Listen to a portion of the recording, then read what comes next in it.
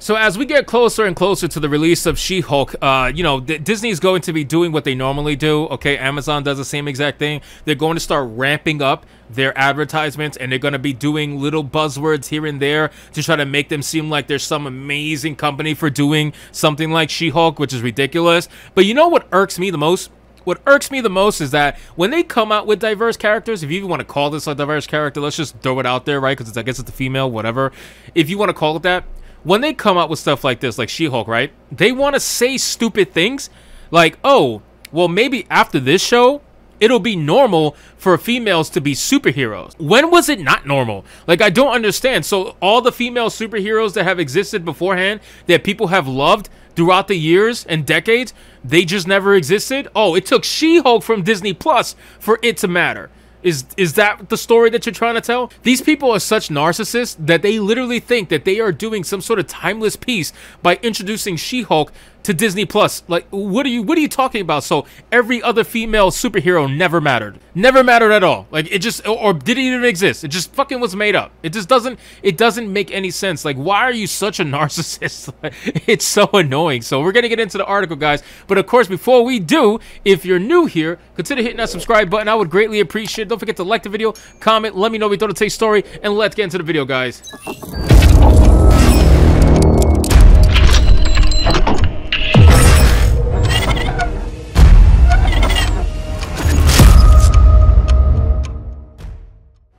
All right, guys, today's article calls for some good old bounding into comics. They've been coming out with some great stuff lately. I feel like all I do is bounding, and I'm sorry. I do try to diversify as much as possible. fucking hate that word. Diversify as much as possible. But damn, man, they've been coming out with some good stuff. I got to give them credit, man. Spencer Baculi, good stuff. So it says, She-Hulk director Kat Coiro hopes Disney Plus series makes it normal to have female superheroes, forgets the series' own advertising treats Jennifer Walters' gender as a novelty. I don't understand this. Where where is this mindset? Like, do you guys live in a world where there is no diversity unless you force it? Like, I don't understand. When you go out into the world, do you think that all of a sudden there was no female superheroes until She-Hulk appeared on screen? I, I don't understand. Why do you think so much of yourself? Why do you guys think so much of yourselves? Like, these, these people exist. Like, diverse people exist everywhere everywhere. We don't need your pandering in order to make us feel like we existed before you pandered to us. It doesn't make any sense to me. And it doesn't make any sense to a lot of people. It says, according to She-Hulk attorney at law, director Kat Coiro, one of her hopes for the upcoming Disney Plus series is that it will help make it culturally normal to have female superheroes. It already is, bro. It already is seemingly forgetting the fact that the show's own advertising relies heavily on drawing attention to the novelty of its protagonist's gender. 100%, that's true. They are trying to play this or placate this whole female empowerment thing where it just it, it makes it into something that they almost want to make it seem like it's not normal, but then you're hoping it's normal. Like it just doesn't make sense.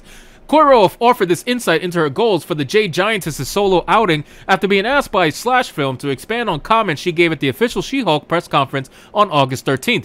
There, she spoke to her love for the character and recalled, I remember very vividly being a little girl and seeing the cover of a She-Hulk comic and amidst this sea of male comics and just not knowing who she was or what this was, but knowing I was moved by it and that the idea of being large and in charge and taking control, taking up space was something was something that really resonated with me.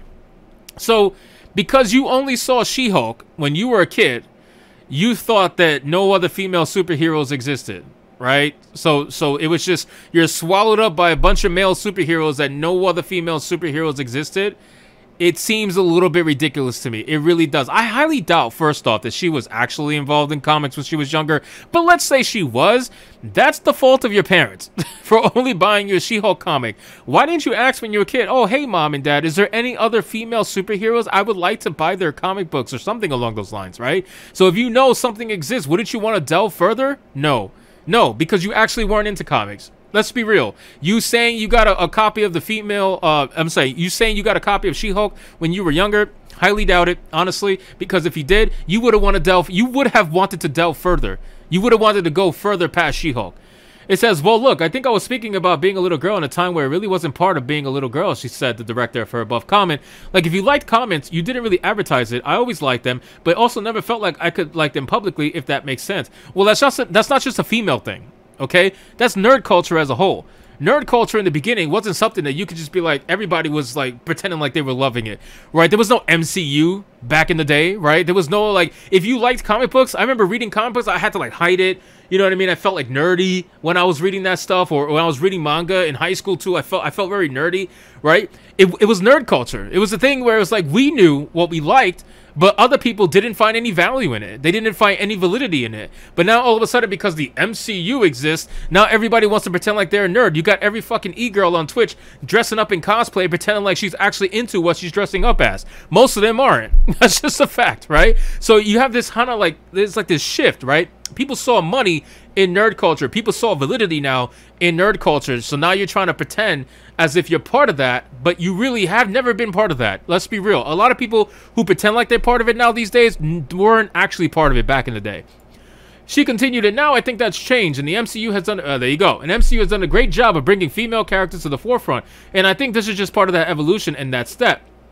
So I was talking about the new generation, just having it to be normal to have female superheroes. It was always normal. People loved true, good female superheroes. The problem, okay, the problem with female superheroes is that they're normally written by either angry feminists or angry activists. And the problem is that they usually like when they treat um when they treat like what do you want what how do I want to say like when they treat like minority characters, right? When they treat minority characters with this like stereotypical pen, right? You drawing all types of stereotypes on that minority character. They do the same thing with women. They do the same thing with women characters, and that's the problem. They don't have any sort of validity. There's no creativity, right? So if you don't see validity in what you're drawing or what you're writing, you're not going to write something that's good. The thing about male superheroes is that they're written and they're drawn from a creative perspective because nobody's thinking like a victim when they're making them. And the problem with minority characters and female characters, they're usually made by people who think like a victim. So they end up drawing and they end up writing a victim character. And that's the problem. And nobody's ever interested in hearing that kind of sob story. So it says, uh, just having it be normal to have female superheroes, my dream is that they aren't called female superheroes anymore, Coiro asserted. They're just superheroes in the same way my dream dream is to not ever be called a female director again, but just to be called a director. I want superheroes to join the pantheon, and some of them just happen to be women. Well, the problem is people like you want to constantly push the fact that the people or characters that you are creating are women. You put that out there. If you wanted this to be a non-female like oriented superhero in the sense that you didn't want to say, "Oh, look, it's another female superhero," you called it She-Hulk. It's still called She-Hulk. So, like, it's literally in the name. It's in the name. The gender is in the name. So how are you going to avoid someone saying, "Oh, look, you're just you're just making this into a female version of the Hulk." That's because that's what it is. That's what it is. You have the male Hulk, and then you have She-Hulk. You're going to call her Hulk too? So call her Hulk. Go ahead. But you don't do that because you can't. Because first off, the names are obviously trademarked, and second off, you can't call female Hulk Hulk because people are going to think that they're going to watch the Hulk if you did. And that's the issue. So it's really just nonstop hypocrisy. That's really hypocritical of her, by the way.